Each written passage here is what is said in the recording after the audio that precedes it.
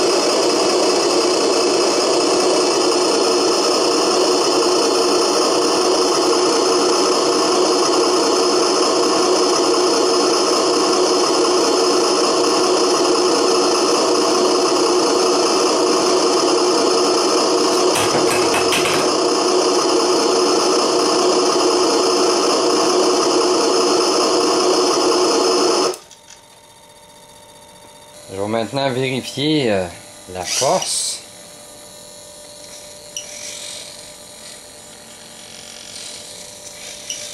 Quand même surprenant.